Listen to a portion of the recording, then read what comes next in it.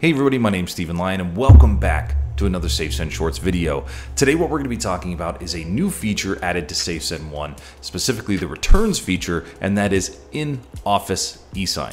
Now what in-office e-sign allows you to do is utilize the recognition, assembly, and delivery aspects of returns and still get a signature on the e-file forms from your client if they happen to stop by and want to sign in office. So let's go ahead and take a look.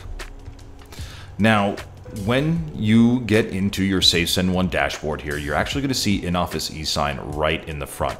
And when we click that, it will take us to a page that has us look up a specific client. So we do a client search. In this case, I'm just going to do Troy.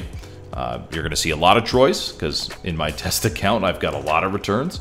Uh, but you will see that client uh, on screen and you will see them listed here. You'll see the current tax year, the client ID, the name, and then the status. So if we're awaiting e-sign or it's partially e-signed, uh, we want them to sign. So again, the benefit of this feature is the client is right there with you in your office and you want them to e-sign their e-file forms. So you simply find them after delivering the return in SafeSend and click Get Started. We'll hit Yes. This will launch the client experience uh, for returns and the client will go through it as normal. But a big benefit here is that we disable the KBA. They don't need to verify their identity via knowledge-based authentication because you're visually verifying their identity with them being there in the office with you.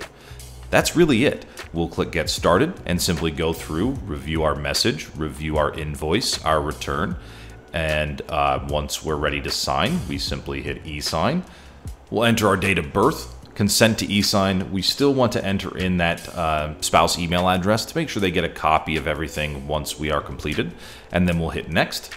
And instead of going to the knowledge-based authentication and asking them questions, they'll be taken right to their e-file forms to sign right here.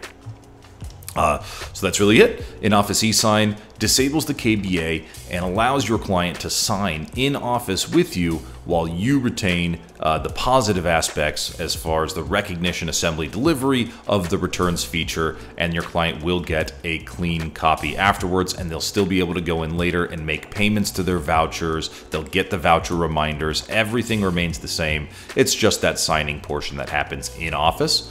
Um, that's a little different. Uh, that's really it. So if you have any other questions, please reach out to us. Visit our website, safesend.com. Uh, thank you very much for watching. Catch you in the next one.